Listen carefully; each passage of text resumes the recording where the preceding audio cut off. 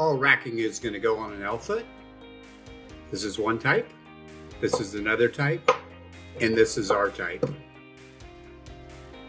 Our type is interesting because we're going on to an I-beam, which is not the other roof L feet are going on to a, a roof or something that has a structure behind it. We're actually going on to this I-beam here. Basically what is happening here is this foot, which is the same as here, is going to clip right here. And then you're going to take these that come with our mount and you're going to attach one here and one here. And this is not going to allow that to go anywhere. So therefore it's going to be fixed like this indication right here. For all rails either are going to clamp on the bottom or on the side. Some of the competitors could clamp on the side.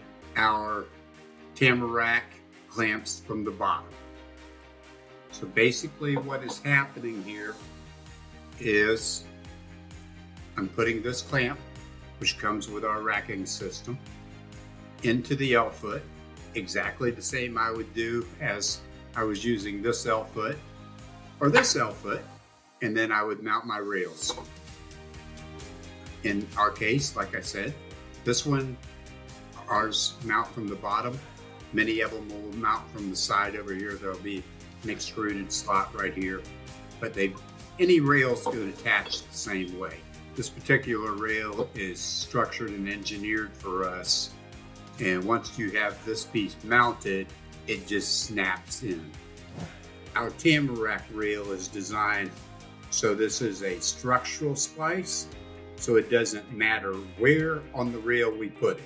We're shipping our rails at 84 inch max and then cutting them to meet the needs for where the splice goes.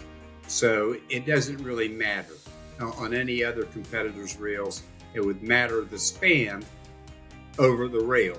You couldn't make an attachment that would be more than about 48 inches with that rail splice involved.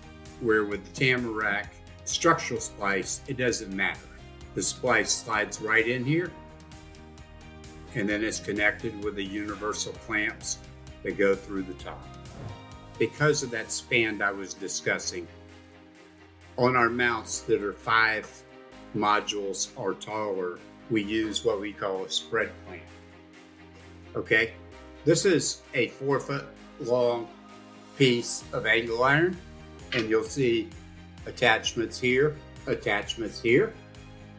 That's for your rail idealistically, this rail is not going to get over a four foot span without having two attachments. And that would meet the specifications from not only our rail, but most competitive rails. When you're connecting it on the I-beam, because the connection to the I-beam's down here, you're gonna see a connection right here.